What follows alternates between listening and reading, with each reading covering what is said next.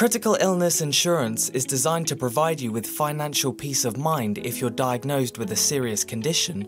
But what are the benefits and the things you should bear in mind beforehand? The cover has evolved over the last couple of decades, and while most claims are for cancer, heart attacks, and strokes, most insurers cover a comprehensive range of conditions.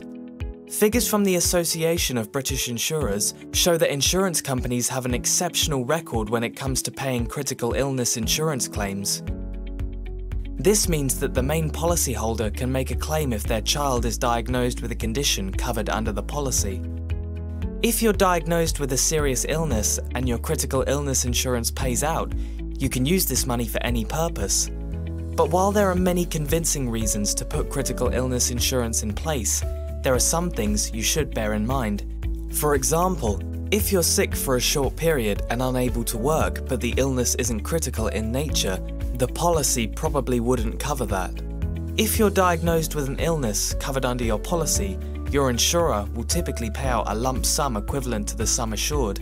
Your policy will usually then cease, meaning you couldn't normally claim again if you became ill later on.